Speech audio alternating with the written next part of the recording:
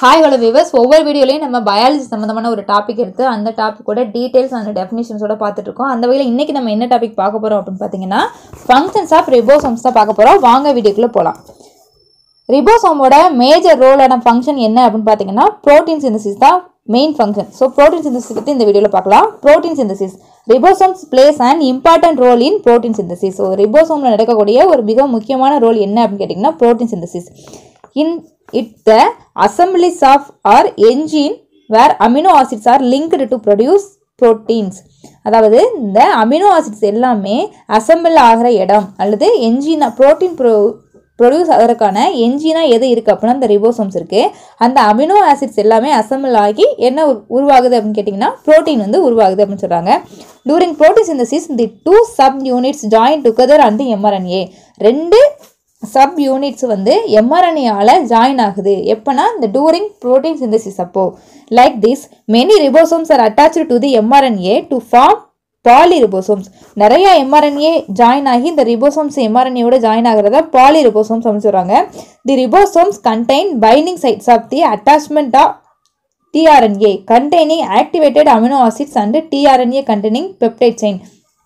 ribosome contain binding sites ரிபோசோமில் என்ன இருக்குன்னா binding sites இருக்குது அந்த பைண்டிங் சைட்ஸ் மூலமாக எம்ஆர்என்ஏ அண்ட் டிஆர்என்ஏ வந்து அட்டாச் ஆகுது. இந்த டிஆர்என்ஏ அண்ட் எம்ஆர்என்ஏ அந்த பைண்டிங் சைட்ஸில் ரிபோசோமில் அட்டாச் ஆகிறது மூலமாக அமினோ ஆசிட்ஸ் ஆக்டிவேட் ஆகி அந்த அமினோ ஆசிட்ஸ் டிஆர்என்ஏல இருக்கிற பெப்டைட் செயின் பாண்டை வந்து உருவாக்குது. The ribosome move on the mRNA as they move along the triplet codon so இந்த எம்ஆர்என்ஏ ரிபோசோம்ஸ் வந்து எம்ஆர்என்ஏல மூவ் ஆகும்போது அந்த மூவ் ஆகுறது மூலமாக ட்ரிப்ளட் கோடான் வந்து ப்ரொடியூஸ் ஆகுது. ஆகுது the mRNA translated and peptide chain is elongated by addition are correct amino acids one by one இந்த எம்ஆர்என்ஏ டிரான்ஸ்லேட் பண்ணுது எதை அப்படின்னா பெப்டைட் செயினை எலாங்கேட் பண்ணுறதுக்கு யூஸ் ஆகுது. பெப்டைட் செயினா ஒன்றும் இல்லை a continuous series are structure of nucleotides இதை தான் பெப்டைட் செயின் சொல்கிறோம் இந்த பெப்டைட் செயினை எலாங்கேட் பண்ணுறது மூலமாக அடிஷன் அல்லது ரிலாக்ஷன் ஒரு ஒரு ஒரு அமினோ ஆசிட்ஸ் ஒரு பெப்டைட் பாண்டை வந்து அடிஷன் பண்ணுறது மூலமாக ஒன் பை ஒன்னாக தேவையான அமினோ ஆசிட்ஸ் வந்து ப்ரொடியூஸ் ஆகுது. இந்த அமினோ ஆசிட்ஸ் கம்பைன் ஆகிறது மூலமாக தான் நமக்கு வந்து ப்ரோட்டீன் சிந்தசிஸ் வந்து ஃபாலோ அப் ஆகுது.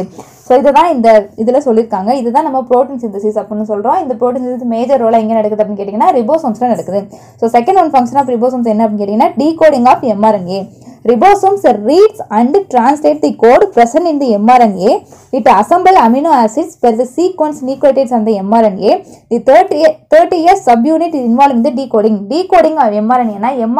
என்ன இருக்கு அப்படின்னு ரீட் பண்ணுறது அப்படின்னு சொல்லுவோம் இல்லையா அந்த மாதிரி இந்த செல்லுக்கு வந்து ஐடென்டிஃபை பண்ணி கொடுக்கறத வந்து இந்த ரிபோசோம் பண்ணுது ஸோ அது அது என்ன கோடான்ஸை கொண்டு வருது என்ன கோடிங்கை கொண்டு வருது அப்படின்னா ஐடென்டிஃபை பண்ணி ரிபோசோம்க்கு கொடு ரிபோசோம்க்கு கொடுக்கறது எதுனா எம்ஆர்என்ஏ வந்து ரிபோசோம்ஸ் கொடுக்குது ஓகேவா அடுத்து acceptance of correct amino acyl plus RNA so கொண்டு வரக்கூடிய அதாவது during protein synthesis the ribosome allow the correct amino acid tRNA to attach to the A site so amino acid வந்து ப்ரோட்டீன் சிந்தசிஸ் பண்ண தேவைப்படுது. So எந்த amino acids தேவை அப்படிங்கிறத amino acyl plus RNA எது தேவை அப்படிங்கிறத கரெக்டாக அலோவ் பண்ணி அசெப்ட் பண்ணுறதுக்கு இந்த ரிபோசோம் வந்து யூஸ் ஆகுது. அதுக்கடுத்து peptide bond formation during protein synthesis ribosome link the amino acid by peptide bond so ribosome வந்து புரோட்டீன் சிந்தசிஸ் உற்பத்தி ஆகும் பொழுது பெப்டைட் பாண்ட் மூலமாக அசம்பிள் ஆகுது. இந்த fifty years sub unit help to peptide bond formation அதாவது டூரிங் புரோட்டீன் சிந்தசிஸ் அப்போ ribosome வந்து தேர்ட்டி இயர்ஸ் ஃபிஃப்டி இயர்ஸ் அப்படின்னு சொல்லி ரெண்டு பார்ட்டாக இருக்கும். இந்த ஃபிஃப்டி இயர்ஸ் சப் யூனிட் வந்து பெப்டைட் பாண்ட் ஃபார்மேஷனுக்கு வந்து யூஸ் ஆகுது.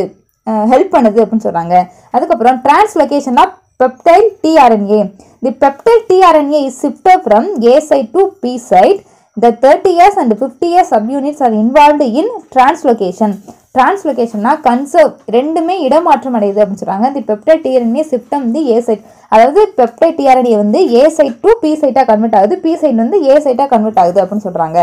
அதுக்கடுத்து